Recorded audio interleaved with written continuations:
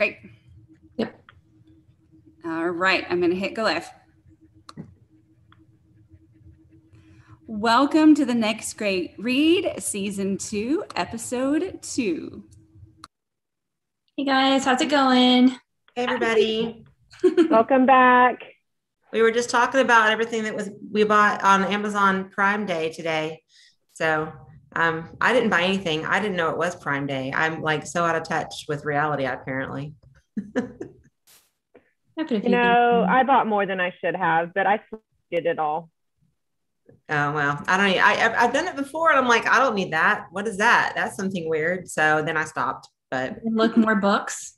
Hello. Oh, I don't. Yeah, I don't buy books. Oh, they're on Amazon right now. They're um buy one, no, buy two get one, or buy one get one. It's it's a good sell, whatever it is. Because I was looking at it, and I was like, ooh, what do I need? I've got a list. I've got some thoughts.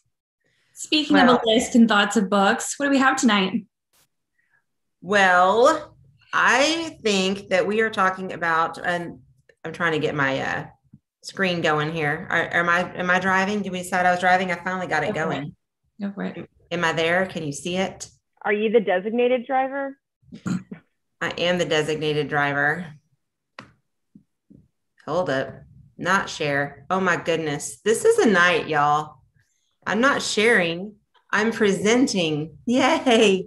Welcome to the next great read, season two. I'm pretty sure you have to be present to present. I'm just saying. I think summer mode is in full swing this week. Yes. Our theme really, really shows that too. And that does, because our theme is basically um, summer slides. They aren't just for water parks, because I had a very difficult time connecting to any of the books I read this week. And I'm just officially in a book slump. Um, mm. So that's why it's like, you know, we have summer slide for the kids. They're like, you know, they go out and have fun all summer long and then they come back to school and it's like, oh, wait, we have to learn all these things again. So in the education world, we call it summer slide. But for me, it's like, um, I'm, I'm sliding down because I just need to find a good book that will rev me back up again and make me excited. So, what about you, ladies? I'm finally I'm, I'm I'm actually really getting into some of the books that I'm reading right now, but I just wasn't ready for tonight. They actually go with some themes that we have for later on, so I have to save those. But this happens to everybody, and I think it happens a lot more often than than um, than our kids think it happens to us. It really does, and um, so ready. Uh, I'm excited to share some of my faves. It'd be good. Yeah, I'm. I don't mind like a book funk I because I could seriously read a book a day if someone just let me lay around and do nothing and I got paid for it. Um, but I just get in these I just nothing. I'll start a book, I'll get a couple chapters in, and I'm just like, I'm not feeling. Kerri said, like, I'm just not in the mood. This isn't the genre I really want, or I'm not connecting with these. And it's super funny. At that time, I might not love that book, but I'll pick it up a couple weeks later, and it's the best book I've ever read. So I, I usually don't discount the book I couldn't get into it at that one funky moment in time. Lord knows what's happening. Like maybe I'm just like in a funk and nothing's going to make me happy. Or maybe sometimes it's the um, medium in which you're reading. If you're listening to it versus reading it, or vice versa, you just, it really mm, just depends. I get those ways. It does. It does depend. But I do have my go tos. And I'm not one to um, like uh, what the books we're going to talk about tonight are like ways that you can get out of your slump of your book slump, things like work for us. Um, and so a lot of times when I'm in a book slump, I don't read more. I, I don't like to reread things. That's just not something I enjoy. So if you made me reread something in the middle of a book slump, it'd be like a book slump slump because I'd like, no, I can't. So um, yeah, I'll just go ahead and and get started. I, I don't remember if I mixed up the slides, so it may be me twice on here. But um, this this book right here, Words in Deep Blue, this is what I go. I don't. I won't reread it, but I know where all the good parts are, and I remember the pieces of it. So I'll go to the pieces that make me remember how much I love reading because I'm such a word nerd. And um, I just love it when the words on the page are just beautiful. And so that's why I used, I used to have a hard time with audiobooks for that reason, because I just wanted to look at the words and, and love them and reread them over and over again. And this is one of the books that I did. So, um, in this book, if you haven't read it, it's not a new book. It's been around for several years. Um, but it is beautifully written and it is about a, um, a girl and a guy, of course, um, a girl and a guy. And Rachel, she, uh, three years before the opening of the setting of this book, uh, her best friend is Henry. And she basically wrote this letter to him because she realized she wanted to be more than friends. So she wrote them, a, wrote him a letter, and she thought that she sent it to him. But right after she thought she sent it, her family ended up kind of packing up and moving away. And like kind of like as a surprise, like it didn't like she she didn't know for sure if she was going or not, but then they did go and she tried to get this letter to him professing her love and it never made it to him. So she lives her life for about 3 years. She's she and her brother were very much into surfing. This is this book is set in Australia and um, her brother dies in a horrible surfing accident and this is her senior year of high school the grief just makes it where she she fails out of school it's just it's just a, a tumultuous time in her life she ends up going back to her hometown and trying to reconnect with people there trying to like get back to her roots. Well henry uh, is now the manager of his family's bookstore and this bookstore is having to close. In this bookstore there's something called the letter library. Um, it's basically a section of the bookstore where you don't go buy the books, but you can write letters to people, like people maybe who have passed, people you have lost in other ways. Um, just you know, long lost loves or people, you know, all these, you just write letters and you pick a book that's meaningful to you and this other person. Or maybe there's a quote in this book that you love. You tuck the letter inside and you put it up in the letter library. And nobody ever really like that person never sees the letter sometimes, but people go through and read them and oh, it's beautiful. They put it back. Nobody buys these books. Rachel has been tasked with putting these books and putting these letters and books in a database. So she's looking at all of these love letters and looking at all of these these things that have been written for other people and she's just kind of going through her own grief along with getting to know Henry again and like realizing she does still love him. It's just beautiful. And she is, um, she's very bitter about life, obviously, the horrible things that have happened to her. And she's trying to act like this doesn't matter. This letter library thing, this is dumb. Nobody ever connects with this. It's a hopeless case. And he tells her basically that quote there words matter, they're not pointless. And I love the way he says things like, it wouldn't start a revolution, it wouldn't change history. People wouldn't fall in love because of words or feel bad because of them, or ache because of them, or stop aching because of them they matter. That's how important words are. And so these are the kinds of things that I like to read when I'm in a slump because I'm like, there's another great book out there with some more beautiful words that'll really like make me feel good again. I just have to go find it and keep going. So that's why I love this book for book slump time. That reminds me of um, letters to Juliet. There are oh, yeah. all these letters, these old letters to people. That's what it made me think of. Mm-hmm. Yeah. I know you love this book. I have I I don't know, Kerri, the way you described it, I really felt I could like I connected with the book. So I really love when someone is that passionate about a book, and I have will read this because you are you were just that passionate about it. Well, let me tell you one more thing, and I, you'll have to borrow my copy of it because I have the ARC of it, the advanced reader copy. And I was, we were driving to Colorado when I was reading this book, and I was so into it. And it was like maybe a quarter of the way before it was going to end. And my husband knows turn off the radio, don't bother her. She's reading, and it's almost the end of her book. I don't want my head bitten off. So I'm sitting there like pouring in this book. All of a sudden, I stop, I close the, and I'm not done. I close the book, I put it down, and I just go, and he just looks at me and is like, You okay? And I was like, There's a love letter in this book by the author, like she has in her letter library in the book. He's like, You're weird. But in the arc, the author stops narrating and it's like a handwriting script font. So you, it looks like a handwritten thing. She writes a love letter to her readers in her book, just like the letter library in the fictional part of her book where they write love letters to i mean it was like it was just so amazing. And it talked about her love for words and why she felt like this was important. And anyway yeah. Okay i'll stop talking now. I could go on and on about this book. I may skip around here ladies because i didn't mix up the slides. So i'm going to skip around until i get to another one. All right this one's on you misty. All right so like i said earlier i get these books nothing will make me happy. So my um my way to get out of it is love. Like, I'm not just talking about a book that, you know, is a good book. It's a book that I will read over and over the entire thing. And this is actually a series. So I will read this entire series over and I could read them in like a weekend. Love them that much. And honestly, it's sappy, it's corny, and I love it, but I could just read them and I just, it never gets old. And I love when you go back and read those ones that you just love. You find something new every time. I've read this this series like hundreds. I'm not kidding, hundreds of times. Um, but it's just it it makes me feel good. It gets me out of my funk, and then I'm open. I'm more receptive to reading again. Um, and you're actually talking to someone I seriously live and breathe reading. So for me to be in a book funk is a serious thing. But I love that this is a out of it. So um, one reason I love this series is because it is so with culture. Um, so there's this girl that's from uh, Washington State, and her parents died when she was younger, and she lives with like an adoptive family. And she just graduated high school, and she's like, "What do I?" So for the summer, she needs to raise money for college, so she goes and works as at a for this circus.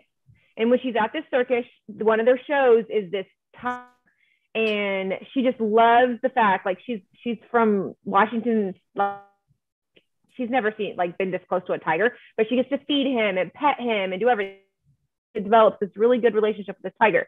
So much that this guy comes from India and he's like, "Hey, you know, I can see you love this tiger. I would love for you to come care of him um, while we go to India and take him back to a nature reserve." And she's like, "That's weird. Like I've never done something that was cool. I'll do it."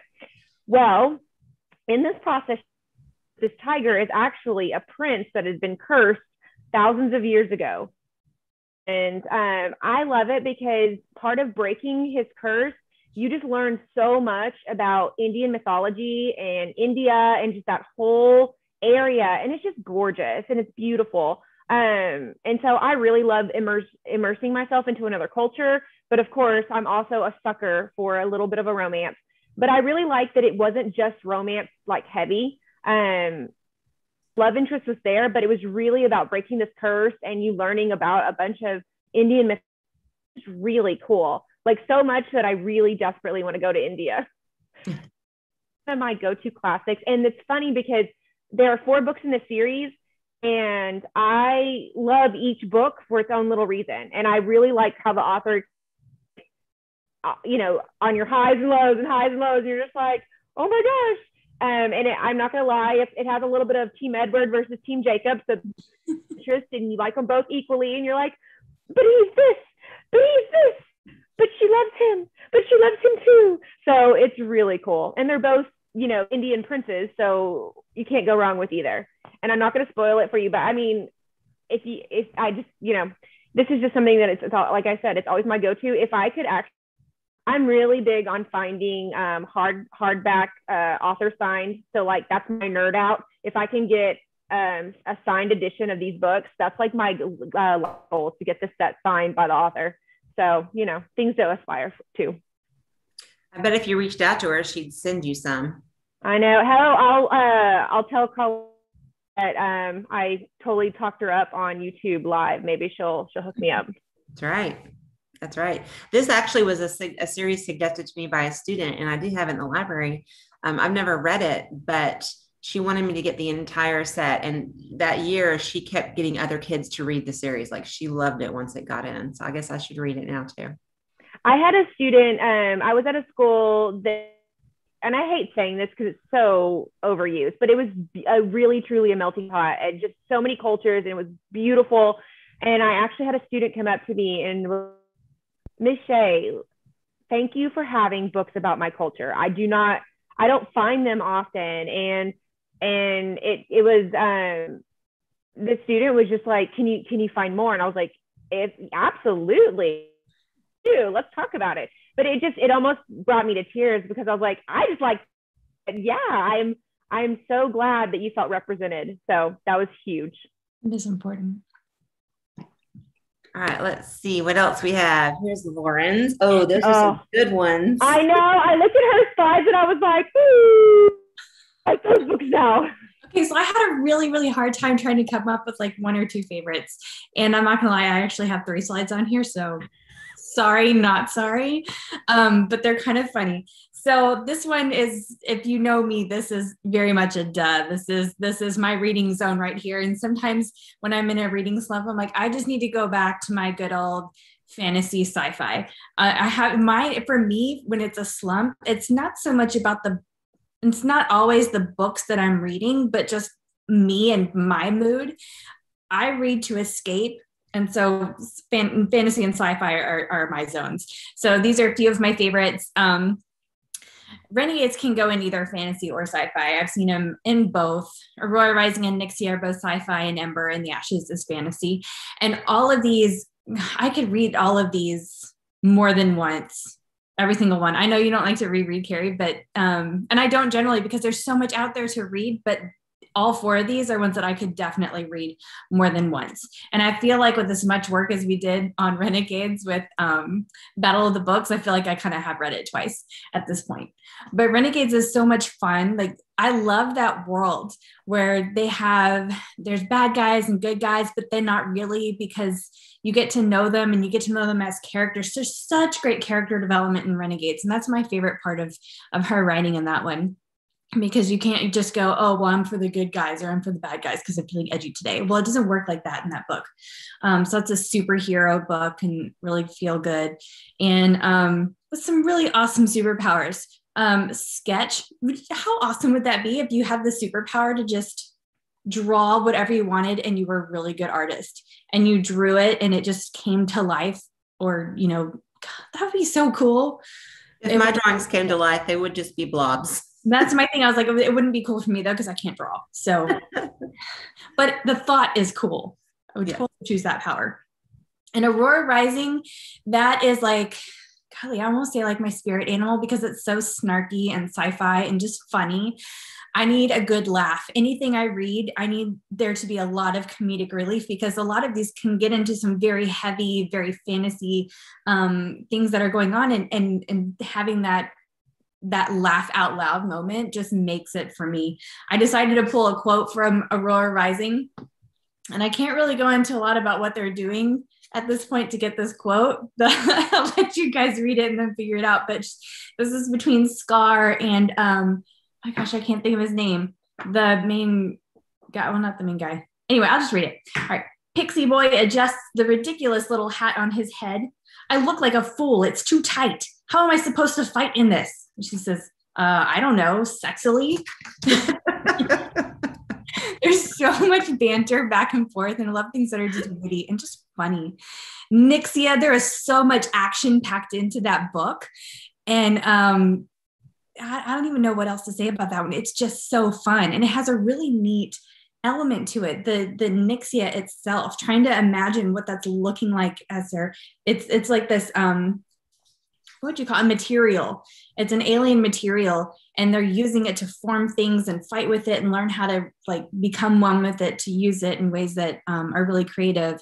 And um, they're trying to go to this planet to um, mine more of this nyxia and um, there's a lot more that comes out in the background of what's going on and it gets to be a little more complex but it's a really fun book.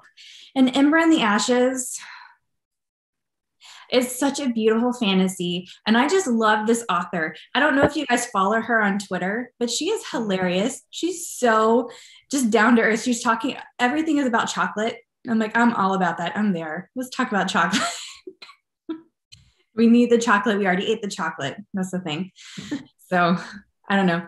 For me, I have to, for me, it's a mood.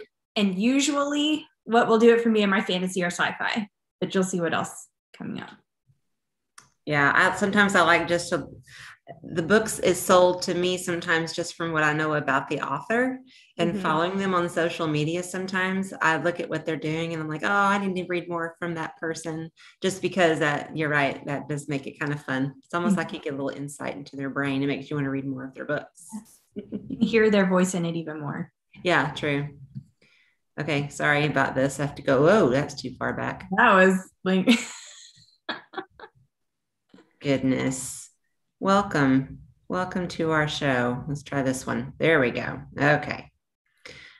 this one, these two. So I picked the little rake hitting me in the face emoji because I just need sometimes something that is just going to just hit me with either strong emotions or strong memories or just like it just kind of comes out of the blue and hits me. And that sometimes makes it where I want to reread something. So I know I'm going way back in time with Summer of the Monkeys, but there's so many strong memories with this. And most people don't are not a lot of people, maybe not most people, my former students are certainly aware of this, but the um, I would read this book out loud to my kids when I taught fifth grade, um, and this was a uh, just it was a great read aloud, but it was just it's written by the same guy who did Where the Red Fern Grows. So most people are familiar with that, but then they didn't read any more.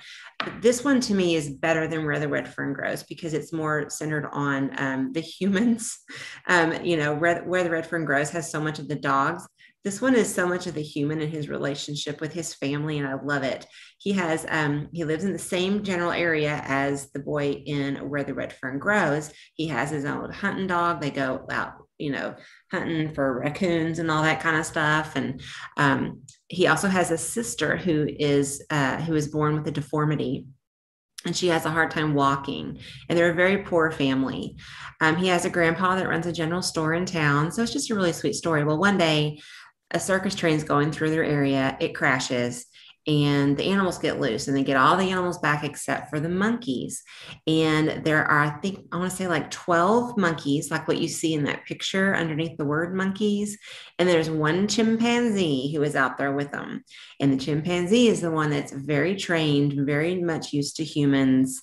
The other ones are a little bit more wild. Well, they get into so much trouble. And the thing that the reason why this brings forth such a memory is like there's one scene where the monkeys have found a still in the woods. A, a, whiskey still. So there, somebody's out there making whiskey illegally with their little still in the woods, and the monkeys found it and they are drinking it. So basically, the monkeys are drunk. And the boy finds the monkeys, and they are acting like even crazier than normal. And the chimpanzee brings a cup that he found next to the still, fills it up, and brings it to Jay Berry. And Jay Berry's like, uh, no, I'm not going to drink this. I could get in trouble. And that monkey scares him so bad that he's like, okay, okay, I'll drink it. He ends up getting drunk with the monkeys.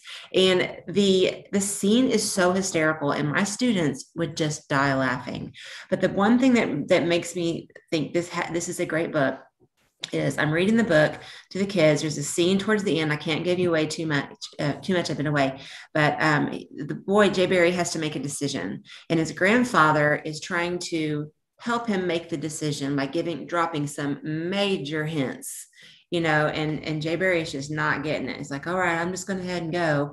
And the grandpa keeps giving these hints about what he should be doing instead. And there was a boy in my class. This is when I taught fifth grade.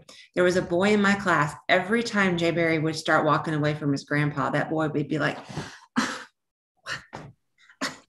like he was feeling it. And it finally it like it got to the point where the, jay berry's walking away and it looks like nothing's going to be done. And that little boy his name is michael gasparo and michael is on facebook with me so if he ever watches one of these he'll hear his name. But he was out there in that and it, when jay berry walked away he's like miss harris. Oh i just hit myself. Miss harris. He's like what is he thinking? Does he not understand what his grandpa is trying to do? What is wrong with him? Is here like he felt it so much. That makes me just want to share this book with everybody and reread those moments because it brings back those strong memories. Uh, the Art of Racing the Rain. I know there was a movie. It was a decent movie. It was a sweet movie, but it was not the book. They uh, glossed over a, a, little harsher fact that happened in the book. Uh, the movie was actually based on the YA version, I believe. The this book I just picked up in, in the airport randomly because it had a dog on the front, and I thought it looked cool. And I needed a book because I left my book at home, and I was about to get on a plane. I mean, that's seriously how I discovered this book. And um, it, I, I just the emotions in it, just the fact that the reader knew more about the characters than the characters did because we were seeing it from the dog's point of view.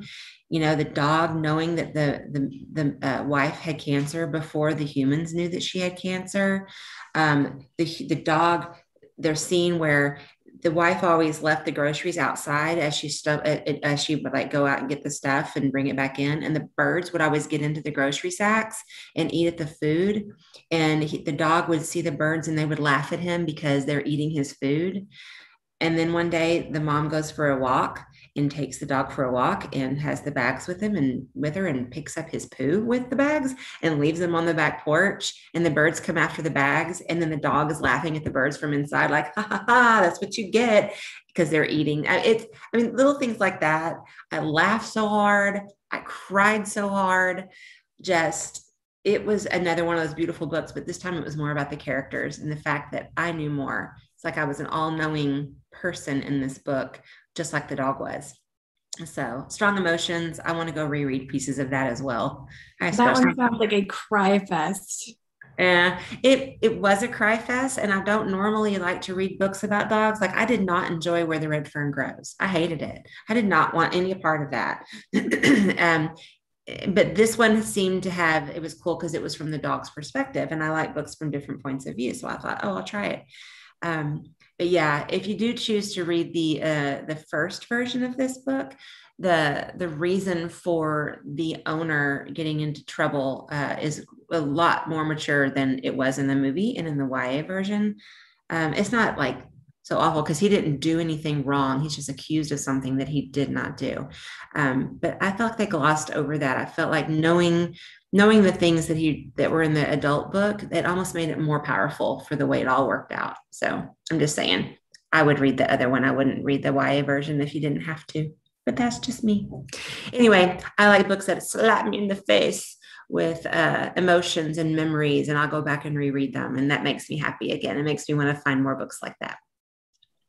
All right, let's see if I can't mess up this again. Let's see. We'll go to here. I didn't mess it up. Yay! This is you, Misty.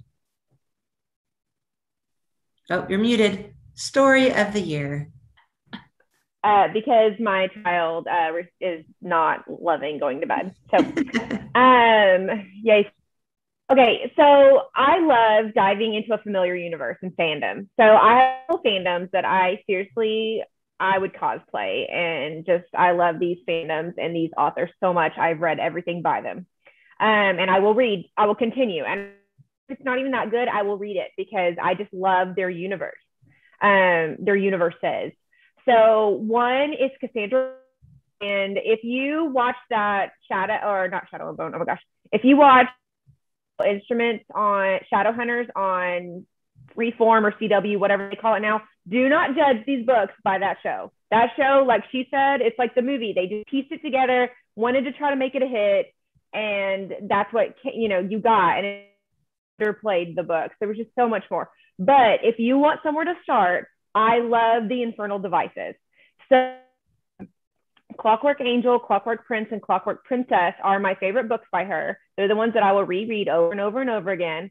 Um, and Cassandra's Clare, Cassandra Clare's world are shadow hunters, and shadow hunters are um, humans, but ha- they have they're part angel as well um, the angels bless them and now they can help fight evil and like demons and vampires and werewolves and all those things. So, and it's really funny. I like how Kerri said earlier, or oh no, actually Lauren said this. You don't know who the bad are and the good guys because just because these shadow hunters are part angel, not all of them are good.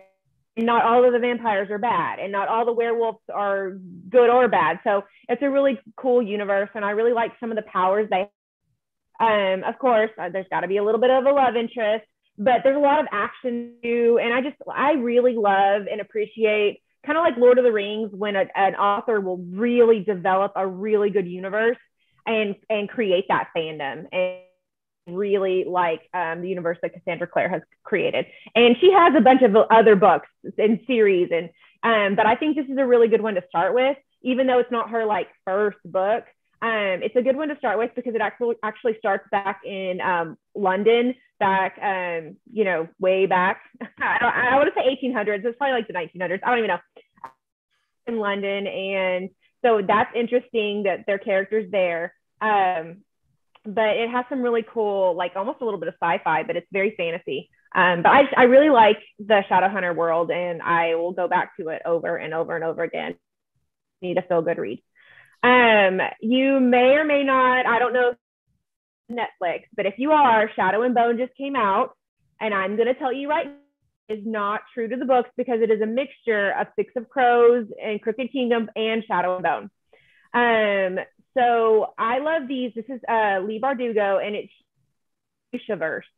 And um, I love this because it's kind of esque, but not really. Like everybody um, has powers, and each of the powers. So there are people that can stop your heart, but those are also people that can heal you. Um, so I mean, uh, you know, are you going to use your powers for good, or are you going to use your powers for evil? Um, there are people that are are you know good thieves, and um, because they're kind of like they can blend into the night, and so all these people having powers. Um, there are people that can work with metal and and make weapons better, or just by the fact that he he can shoot and tell that bullet exactly where to go.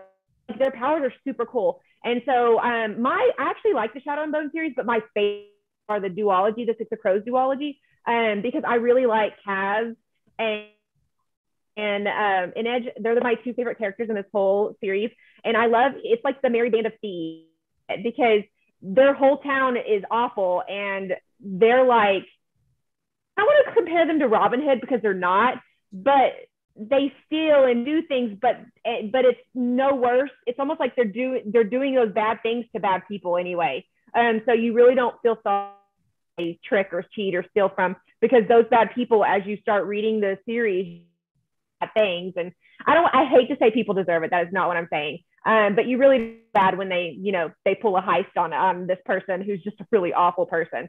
Um, but I just love all of the characters in the Grishaverse, and I love um, what they bring to this. And I'm, I'm just seriously like, I could nerd out on on these two universes and this fan song. I just I really enjoy them. And every time Leigh Bardugo writes a book, I read it. I don't care because I want to go right back into that universe and right back into that fandom. You're missing one on here though, from what I know of your favorites. What? Cruel Prince. Oh, Holly Black. See, you just can't. Oh yeah, I love Holly Black and I love everything she writes as well. And if you want to go into fairies and fae, I could go there all day. I was trying to think of the ones that I've read so many times that the the book, like I went to my bookshelves and I'm like, which ones are just so worn because I've read them so many times.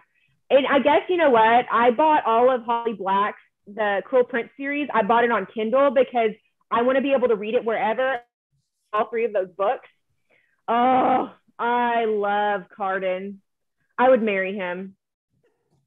I would be I, I have to tell you something funny. So I was getting, I was at the Kroger Deli uh, Monday, and I was wearing my shirt that said "Great minds read a lot."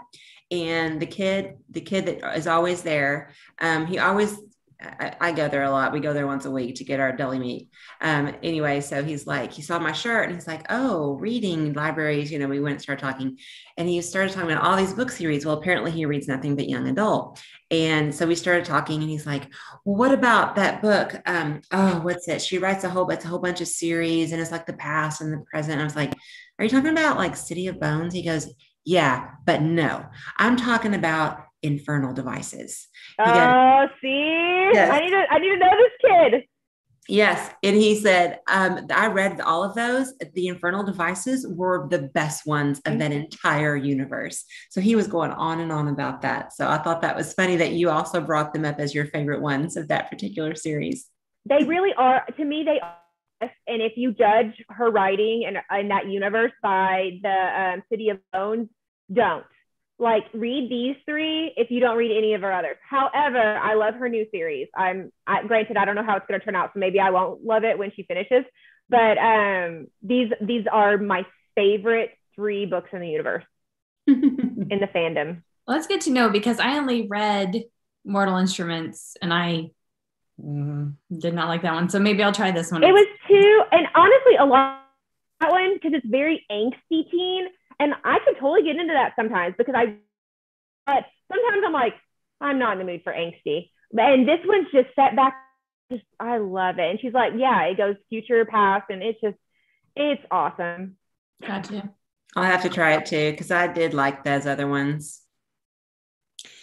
Okay, so another one of my favorite genres is mystery, and the, the the my reasoning behind this one though is different. With the sci-fi and fantasy, that's just where my heart lies. With mystery, I really love mystery as well, but it's because it gets me thinking and completely thinking about something else entirely, and I, I'm actively thinking on it as I'm listening which gets me out of whatever funk or whatever I was in because now I've got something else to focus on.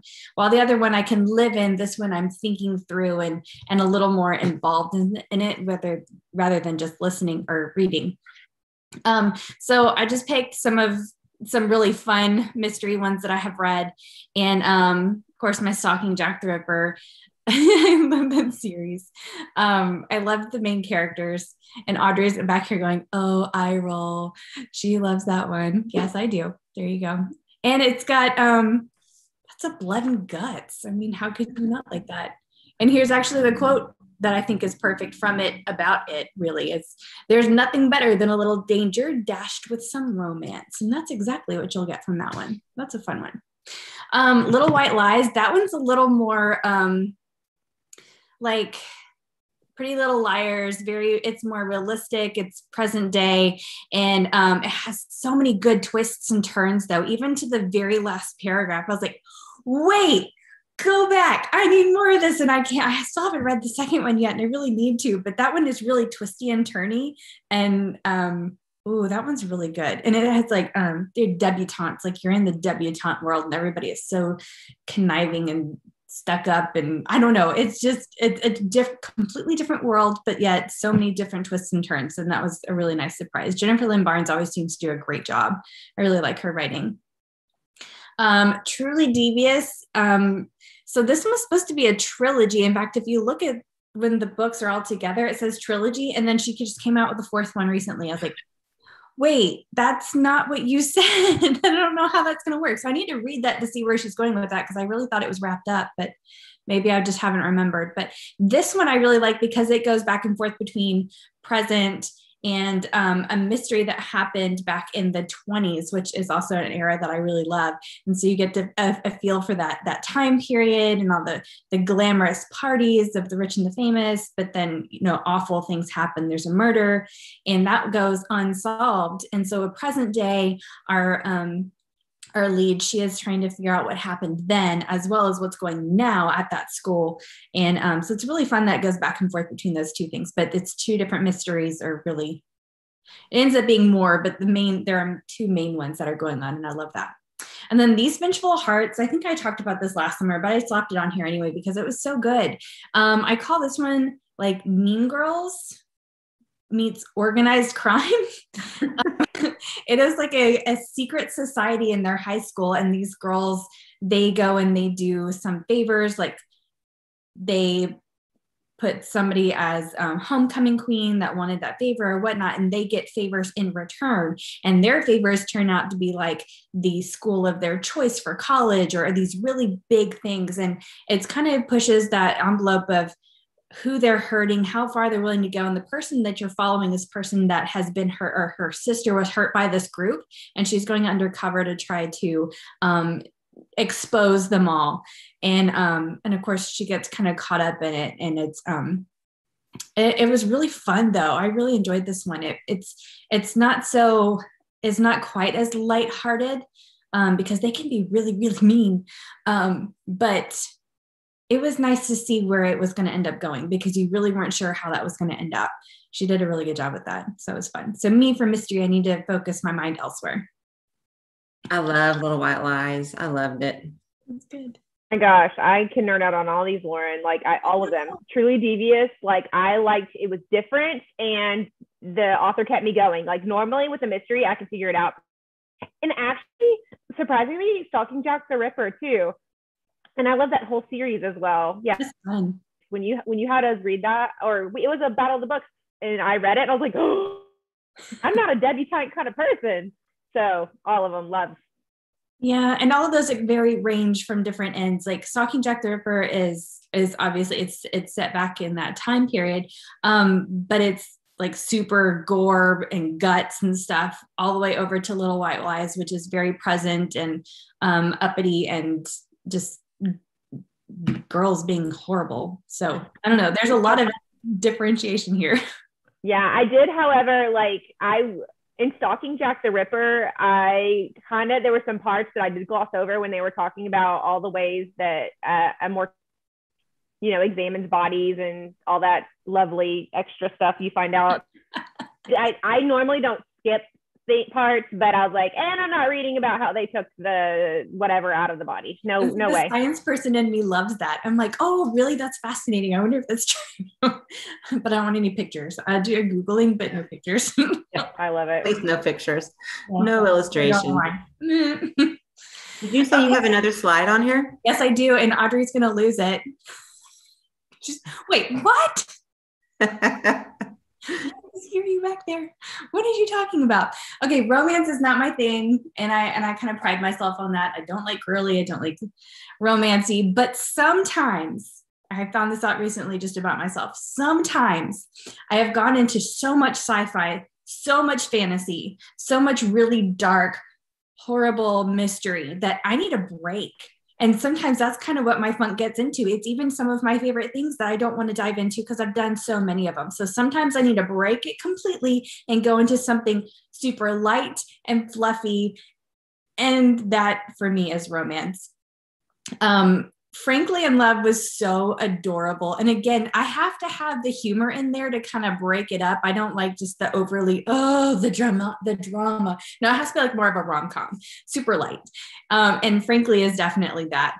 Um, in fact, they go into more of like, it's not all about the relationship in that one. It's more of the culture and some of the struggles that Frank is going through. But the the the other the girl that that he's got this love interest going they're faking it at first. And so it's just a funny um, trope that of course has been done but it's just done in, in such a funny way. And so i have a quote from that one too.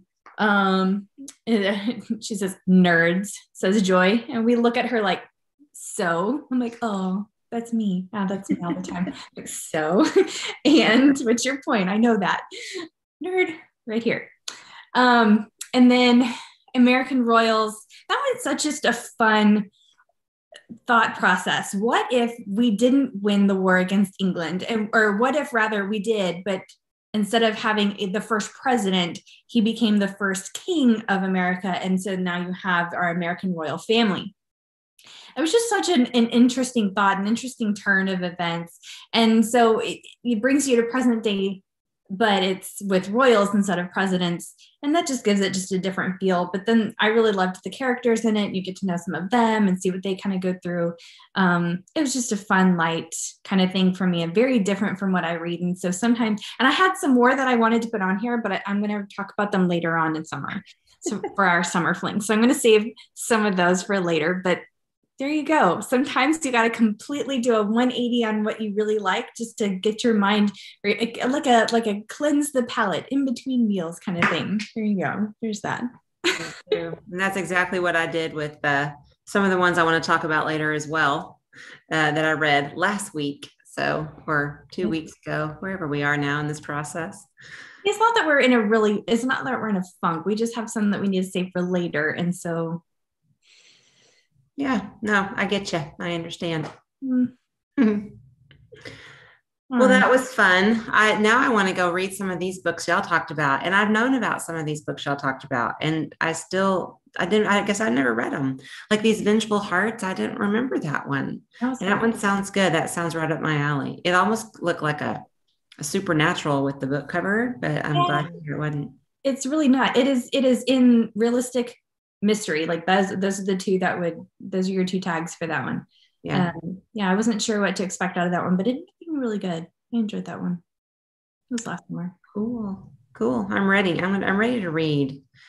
I'm reading one now that's a novel in verse because I thought maybe maybe I'll just I can get through a whole book faster, but it's also kind of apocalyptic, so that's kind of cool. Uh, maybe I'll talk about that one again soon. Well, I'm in trouble because I started Crave and I can't stop the series now. And I'm like, wait, I've got to, I've got to put book three on hold because I need to read other books for book talks. And I was just like, but I want to know what happens. But then I also, I have this disease. If the last book is out, I'll stop reading. I'll stop reading because I want to go back and reread the whole thing to finish that last book. So the last book is not out yet. So I might stop right where I am because reading two books and a half easier than reading five books when she finishes the series. So I might pause it just so that I can read them all later. And I will, you know, read some. Well, I don't do that with many of them because I don't. I just don't have the time to go back and read them all, except for An Ember in the Ashes. That one is so complex, and they were so spread out when they were published that I had to. I couldn't remember. Um, and you can actually. Uh, Sabaa Tahir does a uh, she had something on YouTube where she had um okay a quick recap before you read the third one. If you haven't read the first or the second, there are spoilers. Don't watch this. But she just goes quickly through both books. I'm like, wow, I'm glad I listened because I didn't remember any of that. that was a yeah. I do what you do, Misty, but I do it with when I have when there are TV series. Oh yeah. I, I like to wait until there's at least three or four series out or uh, seasons out before um, I start watching one because then I forget about it and I'm like, eh, I don't want to go back into that again. Similar, oh, I do. Huh? The Downton movie is coming out, and so we're going to do that with the new Downton movie. But watch There's another Downton movie coming out. Yes, I need to watch the other one. I never watched the movie. I just read. We haven't Christmas. I think that one comes out Christmas Day. Okay. Yeah. All right. there's more favorite things. Those are those are ones I could go back and watch all of them because there's little things that I'd probably pick up on the second time or third time that I didn't notice the first. Yeah. I got my How am I ever going to adult again when I have this much stuff to read? Right. Adulting is overrated. Oh, but I have to adult and pay my bills. I pulled well, weeds today. That's enough adulting for me. It's time to read. Yeah. Oh my gosh. All right. Awesome. Thank you so much for joining us. We we could talk about books all night, honestly, if you let us just keep going. But very true. Very true. Can't wait for next week. Do we have a theme for next week? Which one is next week? I don't know. I don't remember our themes. We wrote them down and now we can refer back to them, but we didn't. Honestly, I don't I don't think we should commit because sometimes we change about midway through the week. So look at social media, follow us on Twitter and uh, all the stuff so that you can know what we are doing on next week's episode. I want to say it's out of this world. Oh, I want it to be out of this world because I have three books I want to read for, but I'm only going to read two. It's but that one. I think it is. So come out of this world with us. Come to a fandom. Come to a universe. Come to whatever. Come to a mind bend. These, I mean, the possibilities are endless with out of this world. You can go so many places. Now I have to readjust my reading schedule. Okay, got it. I got it. We're good. We're good. I have books. I'm ready. Well, thank you guys for joining us. We look forward to seeing y'all next week. Send us some book suggestions or some other suggestions if you want us to talk about things. We'd love to get your input. Have a great week. Bye. Bye. Rough. Yay.